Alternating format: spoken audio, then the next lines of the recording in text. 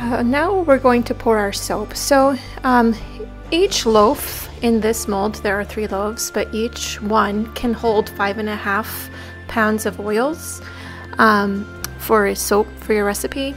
And it, you can buy separately these dividers, which I really liked as an option. Um, so for the first pour, we're going to be filling in two of these loaves today. So for the first one, we're keeping it basic. We're going to use three colors, all orange in the center, all the white batter on one side, and then we'll use charcoal or the black in the third one. And so as I pour, I just try to pour like a little bit in each one. So uh, just to keep it even in case like one of the dividers were to leak or whatever, it won't push out so much. I don't really have to worry about that too much with these dividers because they're pretty uh, uh, solid.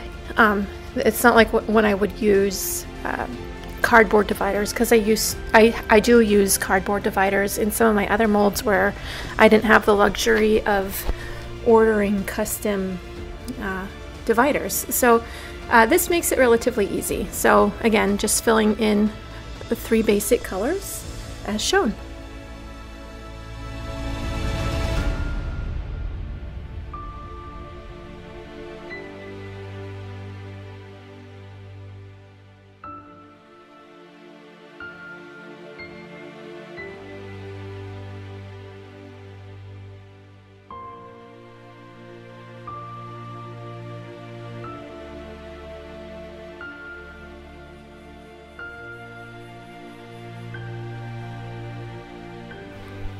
And now using a wooden spoon handle, I'm just doing figure eights. And I realized that I could only do figure eights going in one direction as opposed to going in the other direction. Um, and even then, I you'll see me kind of like mess up and forget what part of the eight I was on.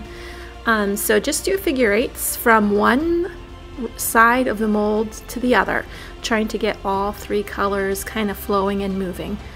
Um, so in the soap, uh, it's orange and patchouli essential oils that I'm using, which which um, behave usually very well in soap, it, and it makes it easy for swirling.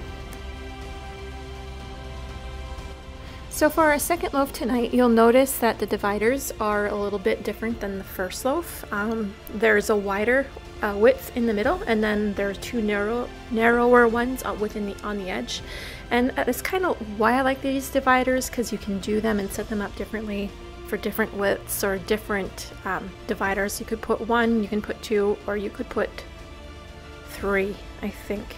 Um, so I like that option. So for the center, and we're using blue on this one, the indigo. So on the center one, in the wider one, I'm doing mostly orange with a little bit of blue and just a little bit of white for distinction, but primarily orange and blue, and just pouring it alternatingly. On the sides, we're doing no orange. We're doing black, white, and a little bit of blue. So you just alternate your pours as best you can. It is hard to keep it um, clean, but just do the best that you can.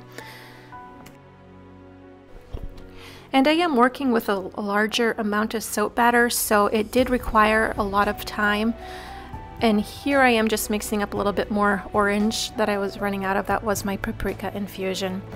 So we're like 40 minutes into the soap making process and my soap batter is still nice and fluid. I mean, slightly thick, but still definitely workable and definitely swirlable.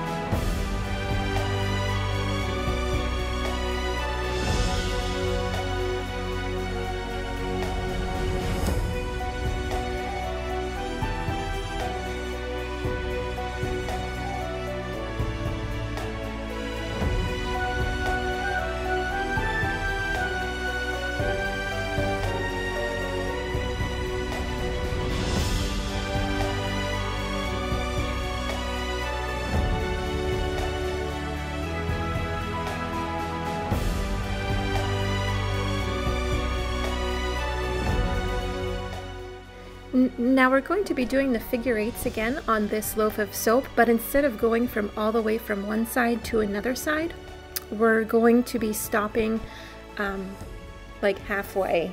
And so you'll see I'll only go halfway to the orange and back, and halfway to the orange and back, and then I'll do that on the other side as well. Just do your figure eights uh, as best you can, or as coordinated as you can get it.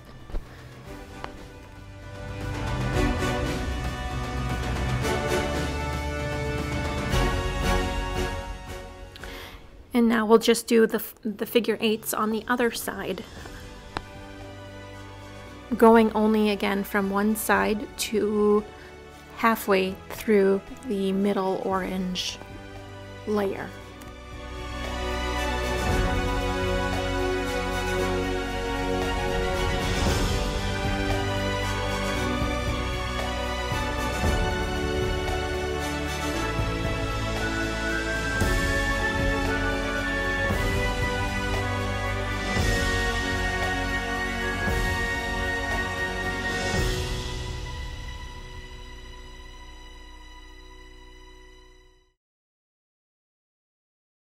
It's now time to cut this soap. Um, so each loaf I'm going to be cutting into nine slabs and then each of that slab I'm going to cut into three bars of soap. So you need to cut it on the horizontal layer to get the pattern. And the indigo is really pretty. Uh, it's like a, a light teal in color and Generally it is brighter when you cut it and it does fade a little bit, but it still remains a, a very pretty kind of grayish tealish blue that I that added a little bit of color popping to the soap itself, which I you know, I love color and popping in my soap. So anyway, so this is this next uh, loaf that I'm cutting, I'll cut the same way. This was the, just the basic uh, three color mantra swirl.